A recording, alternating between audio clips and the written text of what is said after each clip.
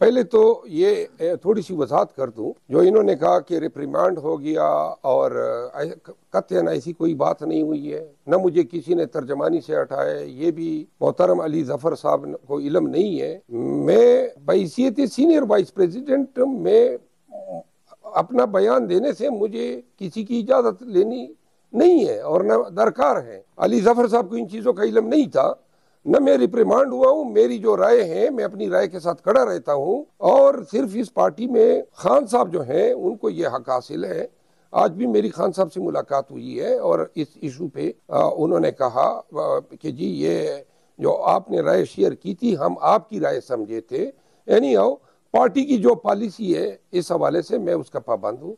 और इसके बाद जो है, खान साहब चूँकि वजात कर चुके हैं बैरिस्टर गौर साहब को भी, आज मुझे भी उन्होंने बताया। तो लिहाजा मैं अपनी जाती राय जो है, वो किसी को खुश करने के लिए चेंज नहीं कर सकता हूँ। मेरी अदालतों के हवाले से या सुप्रीम कोर्ट के हवाले से मेरा यही ओपिनियन है कि हमें इंसाफ ताखिर हो रही है, हमें इंसाफ सही नहीं दिया जा रहा है।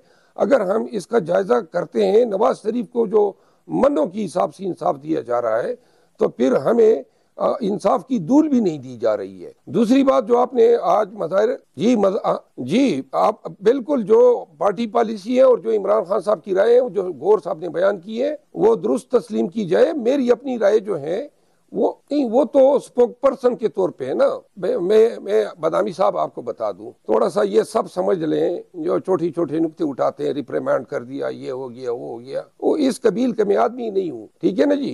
मैं वॉलंटरी सर्विसेज़ है मेरी। ये खिदमत जो पार्टी के लिए अंजाम दे रहा हूँ, ये मेरी वॉलंटरी है। ठीक है ना जी? और इस पे जो है, मैं खान साहब की क्यादत और रजिस्टर गौर को बैसीत चेयरमैन इनको मैं अपना लीडर समझता हूँ। बाकी जो इधर उधर के लोग हैं, वो मेहरबानी करें। मेरे मामलात में मुदाखलत न करें। दूसरी बात जो आपने मजाहिर मजाहिर अली अकबर नकवी साहब की बात की है उनका इस्तीफा जो है ये आ, इस चीज़ की अक्सी करता है मेरी हमदर्दियाँ थी फाजिल जज साहब के सामने मैं बेहतरा उनके सामने पेश हुआ हूँ बतौर वकील और मेरी हमदर्दियाँ थी बल्कि मैंने शायद एक ट्वीट भी किया था इनके हक में लेकिन इनका इस्तीफा जो है अब इस चीज़ की अक्सी करता है कि उनके खिलाफ जो जुडिशल काउंसिल ने कार्रवाई शुरू की थी वो बिला जवाज नहीं थी वो सब्सटेंशियल मटेरियल पे बेस थी उनका वो सामना नहीं कर सकते थे अपने आप को डिफेंड नहीं कर सकते थे तो राय फरार उन्होंने इख्तियार किया और इस्तीफा दे दिया। बैसीत कानूनदान में ये समझता हूँ कि ये नाअहली जो है आ, ये होनी ज़रूर चाहिए क्योंकि अगर आप सर्टिफाई करेंगे कि जी कोई नाली नहीं हो सकती है लेकिन जहाँ तक तायात ना अहली का ताल्लुक है तो इस हवाले से मैं ये ज़रूर समझता हूँ कि शायद ये